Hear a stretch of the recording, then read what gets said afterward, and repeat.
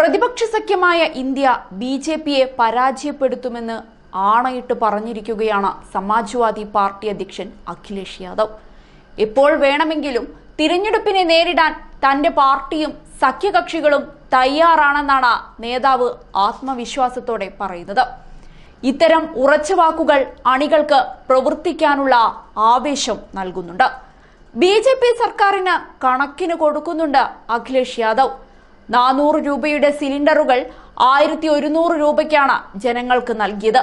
ഇപ്പോൾ തിരഞ്ഞെടുപ്പ് അടുത്തിരിക്കുന്നതിനാൽ ഇരുന്നൂറ് രൂപ മാത്രമാണ് കുറച്ചത്.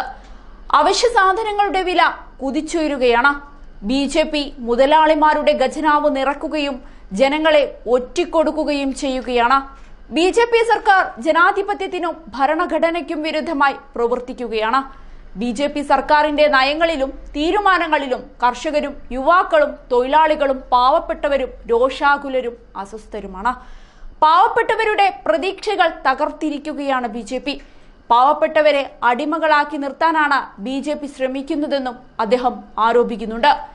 കഴിഞ്ഞ ദിവസം മുതൽ മുംബൈയിൽ നടക്കുന്ന രണ്ട് ദിവസത്തെ യോഗത്തിൽ തിരഞ്ഞെടുപ്പ് ലക്ഷ്യം വെച്ചുള്ള വലിയ രീതിയിലുള്ള ചർച്ചകൾ നടത്താനാണ് പ്രതിപക്ഷ കക്ഷി നേതാക്കൾ ഒരുങ്ങുന്നത്.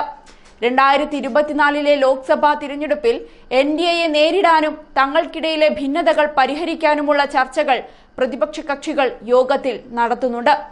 സഖ്യത്തിന്റെ പൊതു മിനിമം പരിപാടി തയ്യാറാക്കുന്നതിനും രാജ്യത്തുടനീളം പ്രക്ഷോഭങ്ങൾ നടത്തുന്നതിനും സീറ്റ് വിഭജനത്തിനും സംയുക്ത പദ്ധതികൾ രൂപീകരിക്കുന്നതിനുമായി നേതാക്കൾ ഏതാനും പാനലുകൾ പ്രഖ്യാപിച്ചിട്ടുമുണ്ട്.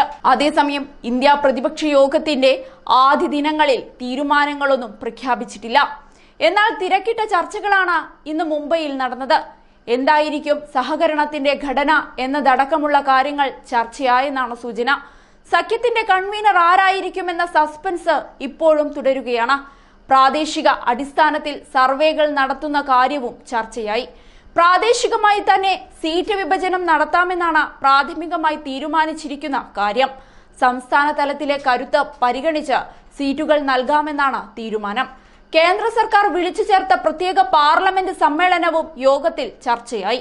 ലോക്സഭാ തിരഞ്ഞെടുപ്പും സംസ്ഥാന തിരഞ്ഞെടുപ്പുകളും ഒരുമിച്ച് നടത്താനുള്ള പ്ലാനാണ് സർക്കാരിനുള്ളതെന്ന് പ്രതിപക്ഷം പറഞ്ഞു. ഇക്കാര്യത്തിൽ തയ്യാറായിരിക്കാനും തീരുമാനമായിട്ടുണ്ട്. സഖ്യത്തിലെ പാർട്ടികൾ തമ്മിൽ പൊതു റാലികൾ സംഘടിപ്പിക്കണമെന്നും നിർദ്ദേശമുണ്ട്. സമാജ്വാദി പാർട്ടി ലോക്സഭാ തിരഞ്ഞെടുപ്പിൽ യു പിയുടെ പ്രാധാന്യത്തെക്കുറിച്ചാണ് സംസാരിച്ചത്. കേന്ദ്ര ഏജൻസികളുടെ ദുരുപയോഗത്തെക്കുറിച്ചും എസ് പി സംസാരിച്ചു. യോഗത്തിൽ അദാനി വിഷയം പ്രധാന ചർച്ചയായി.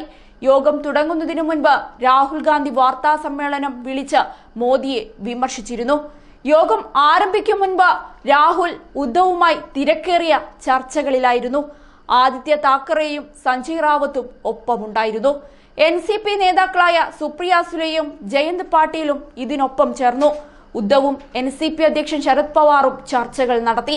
ബംഗാൾ മുഖ്യമന്ത്രി മമതാ ബാനർജി കോൺഗ്രസ് അധ്യക്ഷൻ മല്ലികാർജുൻ ഖാർഗെ സോണിയാഗാന്ധി നിതീഷ് കുമാർ ലാലു പ്രസാദ് യാദവ് എന്നിവരെല്ലാം യോഗത്തിനെത്തിയിരുന്നു. അതേസമയം കേന്ദ്രവും ഒട്ടും വിട്ടുകൊടുക്കുന്നില്ല. രണ്ടും കൽപ്പിച്ചാണ് ഇത്തവണ കേന്ദ്രം. ഒരു രാജ്യം ഒരു തിരഞ്ഞെടുപ്പ് സാഹചര്യം പഠിക്കാൻ പ്രത്യേക സമിതി രൂപീകരിച്ചിരിക്കുകയാണ് കേന്ദ്ര സർക്കാർ. മുൻ രാഷ്ട്രപതി രാംനാഥ് കോവിന്ദിന്റെ അധ്യക്ഷതയിലായിരിക്കും സമിതി. പാർലമെന്റിന്റെ പ്രത്യേക സമ്മേളനം വിളിച്ചു ചേർത്തതിന് പിന്നാലെയാണ് കേന്ദ്രത്തിന്റെ ഈ സുപ്രധാന നീക്കം.